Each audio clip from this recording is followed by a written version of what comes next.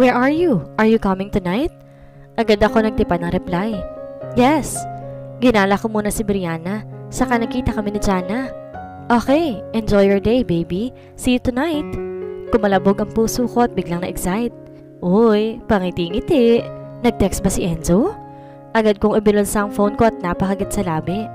Halos hindi ko na mapigilan ang ngiti ko dahil sa paulit-ulit na pangasar ni Jane sa akin. Kung hindi lang ako tinawag ng anak ko baka sobrang pula ko na. Tatapusin ko lang muna ang araw na to dahil magkikita kami ni Enzo. Parami kaming pinuntahan. Namimili rin ng damit sa Jana.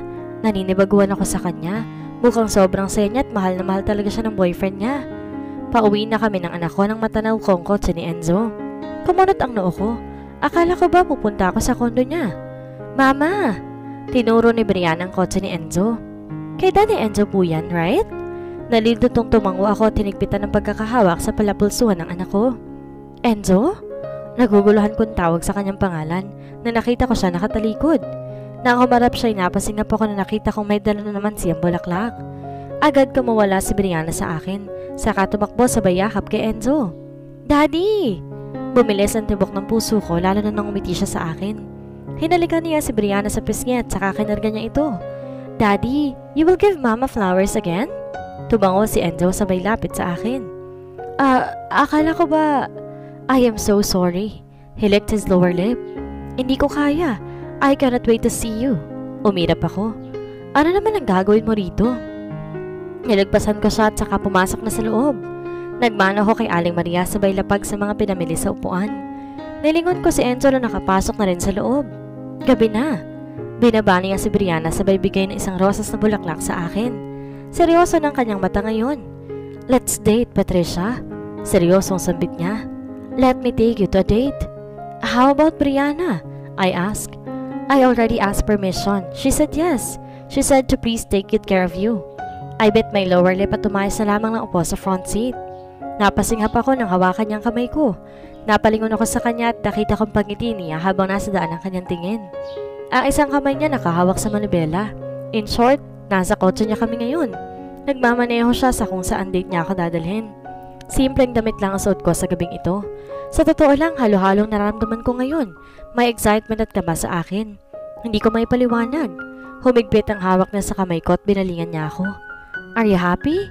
That I am with you today? Uminit ang pisngi ko sabay tango. Umiwas ako ng tingin sabay kagat sa labi. He chuckled. I miss you too, baby. I was able to finish my meeting. I have time with you again. Mm, mabuti naman kung ganun. Sa totoo lang hanggang ngayon, hindi pa rin ako makapaniwala na boyfriend ko na siya. Parang dati lang todo tanggi iwas ako. Ngayon siya na nagpapatibok ng puso ko. Bumalik na ang tingin ni Enzo sa daan, pero nasa kanya pa rin ang aking tingin. Isang buwan pa lamang ang relasyon namin. Hindi ko pa talaga siya lubos na kanila. Natatakot ako. May takot sa akin. Hindi naman yun maiiwasan lalo na't overthinker ako. Mapapaisip ako ng mga negative side ng relasyon. Kung siya na, siya na talaga. Dalayo ko na magpapasok pa ng lalaki sa buhay ko. Dinala niya ako sa isang mamahaling restaurant. Hapit na hapit ni Enzo ang bewang ko habang naghahanap kami ng upuan. Iginiya kami ng isang lalaking nakasuot patungo sa isang magarbo at romantikong lamesa at upuan. Napangiti ako dahil sa mangha.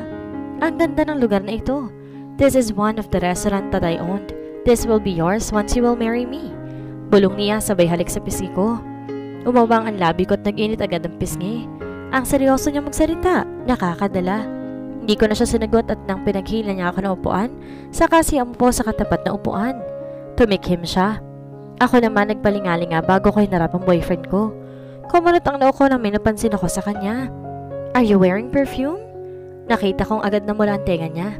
Tumikhim siya. Hindi ba mabango? He worriedly asked. Bago ko pa lang tong binili. I shrugged. Hindi naman, napansin ko lang. Mas gusto ko yung unang perfume mo. Umayos siya ng upo. You do? Tumango ako. Tsaka, hindi masakit sa ilong. Dagdag ko pa. Tumango siya. Alright. Namilog ang mata ko. Anong ibig mong sabihin?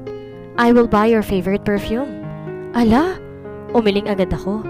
Di mo naman kailangan magpalit kung favorite mo yan. No, I changed my perfume to impress you, yet you are not. He smiled. Next time, I will wear the perfume that you like. Napalunok ako at hindi nalaman nagsalita. By the way, you want to go to my condo tonight? Niliitan ko siya ng mata. He grinned at me. Umirap ako. Ano naman ang gagawin ko roon? Talk? Patanong niyang sagot. Sigurado ka ba dyan? He chuckled. It depends. Talaga lang ha? Come on, I can live without you. Umirap ako. I can sleep without you, Patricia. Nagbagong ekspresyon niya. Uminit ang pisngi ko. Bakit ba natin yung pinag-uusapan? Because I want to tell you that I am serious with you. Hindi sex ang habol ko sa'yo because if I am not in love with you, I am serious with you. Hindi na ako nakapagsalita. Masyado na ako nadala sa kanyang kaseryosohan. Maya-maya tinawag na ni Enzo isang waiter. May sinabi siya dito bago ito umalis. Tumikim si Enzo. You like this place? He asked. Tumango ako. Oo, maganda naman siya. Umawang ang labi niya sabay tango. Good. By the... Enzo? Pareho kami natigil na isang boses ng babae ang aming narinig. Nang binalingan ko ito'y napawang babig ko na nakita ko na ito yung nakita ko, nakadate ni Enzo. Si Dina? Tumakbo siya patungo kay Enzo at walang sabi-sabi, hinalikan niya ito sa mismong harapan ko. Napatulala ako at napasinghap. Nag-iiwas ako ng tingin kasabay ng pagkirot ng puso ko. What the hell? Shit! What are you doing, Dina? Nakita kong marahas na tinulak ni Enzo si Dina, kaya gulat na napatras ito. What the hell, Enzo? Nakita kong dumapon tingin ni Enzo sa akin. Namutla siya na nakita niyang hindi na ako nakangiti. Sino ba naman ang ingiti sa ganun? I have a date with me, Dina. Matigas sa sambit ni Enzo habang nakatingin sa akin. Patricia. Oh! Pinalingan ako ni Dina. Pinasadahan niya ako ng tingin sabay taas ng kilay. Your secretary? Napayuko ako. Sumikip ang dibdib ko. Hindi ko kasi inaasahan. She's my girlfriend, Dina. Mariing sambit ni Enzo. Humalakak si Dina. Are you serious? Girlfriend? You don't do that, Enzo. Hindi nagsalita si Enzo. Napawi ang ngiti ni Dina at napatingin sa amin dalawa. You are serious? With her?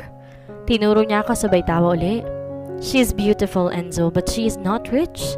Mas naniniwala pa akong sekretary mo siya. Leave us alone.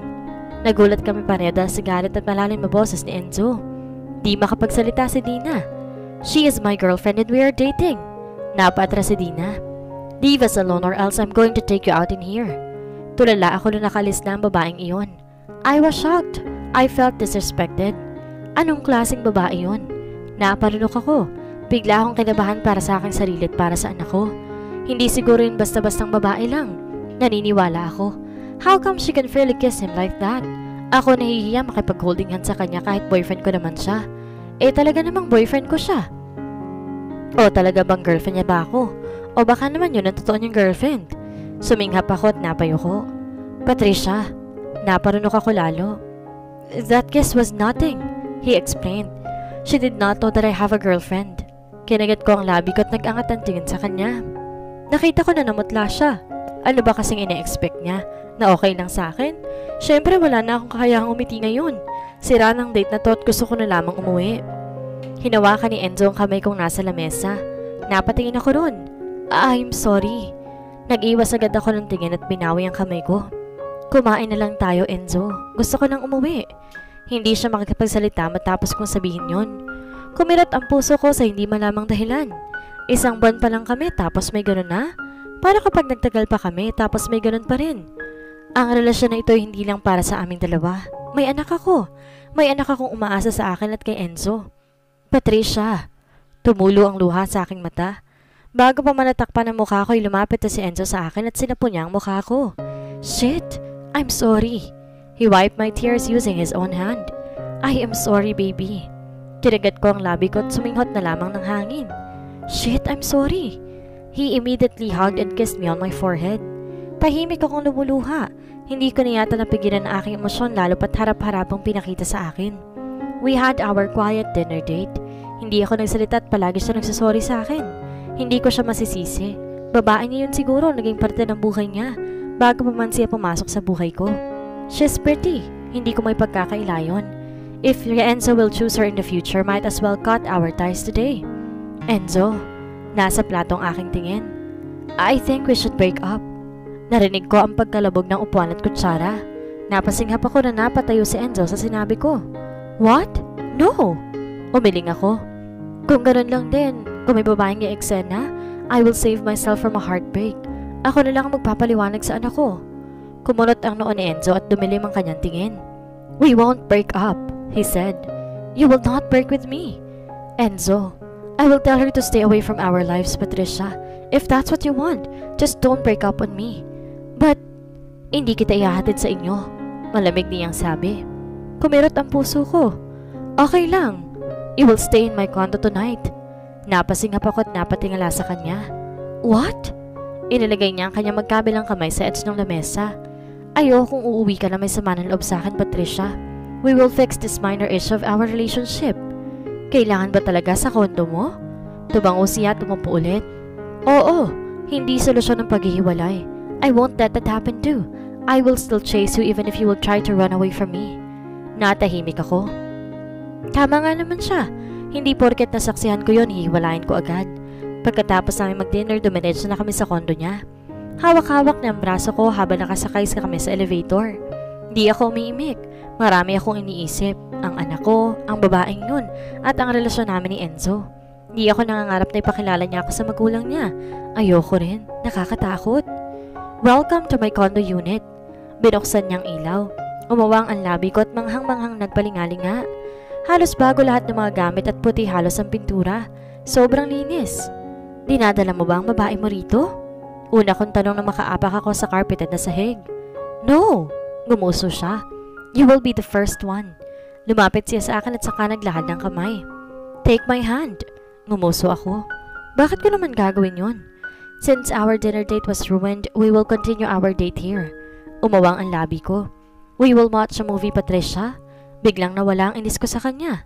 Talaga? He smiled. Yup, I have a big screen on my room. You can pick whatever movie you wanna watch. Tumango ako at agad tinanggap ang kanyang kamay. Tama nga si Enzo. Ang kanyang kwarto may flat screen TV. Para na siyang mini sinehan. Pinahiram niya ako ng pajama t-shirt. Pareho na kami nakaupo sa kama habang nakasandal ang ulo ko sa kanyang balikat. Hawak-hawak ko ang remote habang namimili ng movies. Tumingala ako sa kanya. Napasingap ako na magtamang aming paningin. Tanging TV lang ang nagdiliwanag kaya masyadong madilim ang kanyang mukha, bukod sa mata niya. Hinawakan niyang kamay ko at hinigpitan ng pagkakahawak nito. Why? Ngumuso ako. Gusto kong panoorin yung Fifty Shades of Grey. Uminit ang pisngi ko nang napansin niya ang reaksyon ko, halos ibaon niya ang kanyang mukha sa leeg ko. Nakaramdam ako ng kiliti sa aking tiyan. Really? He chuckled. I am better than Christian Grey. Mahina akong sinabunutan ng buhok niya. Lumayo ka nga, manonood ako. Humalakak siya sa belayo sa akin. Pilo na ang kanyang iti at kung anumang oras ay baka pagtitripa na naman ako. Okay, watch. Hihiga lang ako saglit. Just wake me up if you need something, hmm? Napatitig ako sa kanya saglit bago tumango. He smiled and kissed my cheek before he positioned himself to sleep. Tutulog ka na talaga? Saglit lang. Tumango ako sa humarap na sa TV. Naramdaman ko ang pagsalikop niya sa kamay namin. Naibaling kong saglit ang tingin ko sa kanya. He kissed the back of my hand. I love you. Don't try breaking up with me because I will not allow it, Patricia. Nasaktan si Patricia sa nakitang paghalik ni Dina kay Enzo. Anong gagawin ni Enzo para makaiwas kay Dina? Yan po ang ating aabangan sa susunod na kabanata. Maraming salamat po!